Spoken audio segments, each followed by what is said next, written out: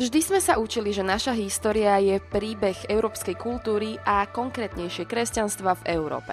A to ma popravde vždy štvalo, pretože naša história je príbeh všetkých ľudí na tejto planéte. A práve preto som sa dnes rozhodla hovoriť o inej kultúre a o inom náboženstve, ktoré síce taktiež vznikli na východnom pobreží Stredozemného mora, rovnako ako kresťanstvo a rovnako ako aj judaizmus. Poďme si dnes povedať niečo o islame.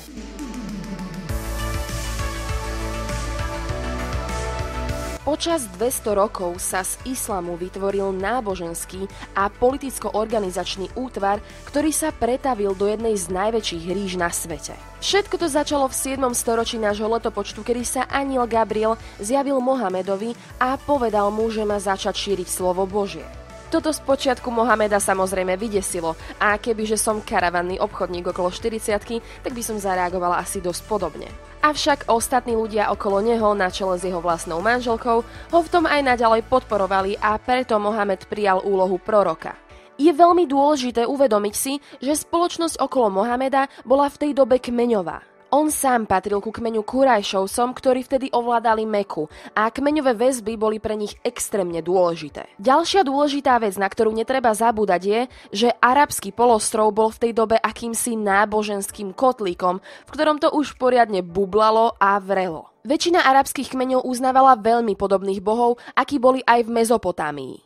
No a všetky sošky týchto bohov sa nachádzali v chráme Kaba v Meke. A len tak mimochodom, v Koráne sa spomína, že Kábu postavil sám Boh a neskôr ju prebudoval a zrekonštruoval Abraham. Áno, ten Abraham. No netreba zabúdať, že arabský polostrov bol domovom aj pre všetky monoteistické náboženstva, ako napríklad judaizmus, kresťanstvo alebo zoroastrizmus. Takže posolstvo, že existuje len jeden boh, nebolo v tej dobe pre Mohameda tak prekvapujúce. V samotnej podstate je islám radikálnou reformou náboženských pomerov, čiže to isté, čo urobil Mohamed, urobil aj Ježiš alebo Mojžiš. Snažili sa obnoviť abrahamovský monoteizmus. Moslimovia veria, že Boh poslal Mohameda, aby priviedol ľudí naspäť k jedinej pravej viere ktorá pozostáva z uctievania a odovzdania sa jedinému všemocnému Bohu. Netreba zabúdať, že Korán uznáva Abrahama, Mojžiša a Ježiša a mnoho ďalších ako prorokov, ale je veľmi odlišný od židovskej a kresťanskej Biblie. Korán je písomným zápisom Mohamedových zjavení, to znamená, že je na ňo nazerané ako na skutočné slovo Božie. Pojednáva o širokom spektre veci, ale vo svojej podstate sa vracia k dvom hlavným motívom a tým je striktný monoteizmus a starostlivosť o tých, ktorí sú na tom horšie. Samotný islám má 5 základných pilierov, ktoré sú považované za povinné činnosti, teda aspoň pre všetkých sunitov. Prvým je šaháda, alebo teda prehlásenie o viere. Znie následovne. Nie žiadneho boha okrem Boha a Mohamed je bohov prorok. Je potrebné upozorniť na to, že niekedy sa to zvykne prekladať ako nie žiadneho boha okrem Allaha a Mohamed je Allahov prorok. Arabské slovo pre Boha je Allah, bez rozdielu na to, či ste žid, kresťan alebo moslim. Takže neprekladať slovo Allah a ponechávať ho v jeho arabskom origináli je dosť veľkou ignoranciou a snahou o segregáciu islamu. Druhým pilierom je salát, alebo teda rituálna modlitba 5 krát denne. Pri úsvite, na obed, po obede, pri západe slnka a neskoro večer. Modlitba je povinná, pokiaľ ste dosiahli pubertu alebo nie ste príliš chorí, po prípade nemenštruujete. Zlatý dobrý sexizmus. Tretí je saum, mesiac dlhý pôst počas ramadánu, kedy moslimovia nepijú, nejedia a nefajčia počas dňa keďže sa riadi podľa lunárneho kalendára, tak býva v rôznych rokoch a v rôznych ročných obdobiach. A logicky, najlepšie sa znáša v zime, keď sú dní najkračšie a najhoršie sa znáša v lete, keď sú dní najdlhšie a aj najteplejšie. Štvrtý pilier je zakát, alebo teda milodar, kedy nechudobní moslimovia musia darovať čas svojho príjmu chudobným. A posledným pilierom je háč, alebo teda púť do Meky, ktorú musí vykonať každý jeden moslim aspoň raz za život, pokiaľ má peniaze a je zdravý. Pre pochopenie islamu je samozrejme potrebné poznať viac než len Korán, aj judaizmus má svoje talmudy a kresťanstvo má svoje texty cirkevných otcov a životy svetých. A rovnako aj islám má niekoľko dodatočných svetých textov, medzi ktorými sa za tie najdôležitejšie považujú hadísy. Je to zbierka príbehov a výrokov o prorokovi, avšak väčšina moslimov hadísy neberie ako svetý text, pretože sa veľmi ťažko dokazuje ich historická hodnovernosť. A rovnako ako aj kresťanstvo a judaizmus obsahujú právny systém, tak tak aj islám. A možno ste už o ňom počuli. Volá sa šaria. Väčšinou si šáriu predstavujeme ako množinu zákonov, ktorou sa riadi každý den moslim. Avšak to je hlúposť, pretože existujú rôzne výklady šárie.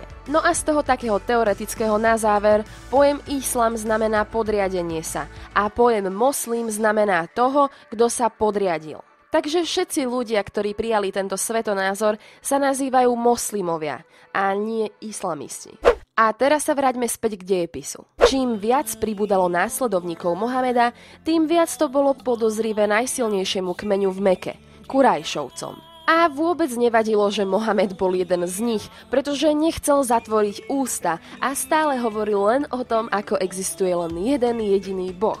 A asi si viete aj sami domyslieť, že to bola dosť zlá správa pre politeistických kurajšovcov. Patril im veškerý obchod na putnickej ceste do Meky a keby sa kdokoľvek snažil ohroziť ich bohov, tak by to pre nich bola ekonomická katastrofa. Takže Kurajšovci donútili Mohameda a jeho následníkov v roku 622 opustiť Meku a tí sa vydali do Mediny. Táto udalosť je tak dôležitá, že má svoj vlastný názov – Hijra a zároveň označuje začiatok islamského letopočtu. Postupom času v Medine začala islamská občina, alebo teda Uma, vyzerať skôr ako ríša, než ako cirkev. Viete, napríklad taký Ježiš ten nikdy nevládol žiadnej zemi. Ale Mohamed jej vládol takmer od začiatku a viete, okrem toho, že bol boží prorok, bol aj skvelý vojvodca a preto v roku 630 dobil Meku späť. Zničil všetky sošky bohov v Kábe a zrazu mal islám rovnakú politickú ako aj náboženskú moc v oblasti. A uvedomte si, že aj kvôli tomuto náboženskému a politickému prepojeniu od úplného začiatku nemá islám tak oddelené občianské a cirkevné právo, ako to má kresťanstvo alebo judaizmus. Takže keď Mohamed v roku 632 zomrel, nezostalo po ňom prázdno. Zostala po ňom islamská obec, ktorá zrazu potrebovala svojho politického vodcu, kalifa.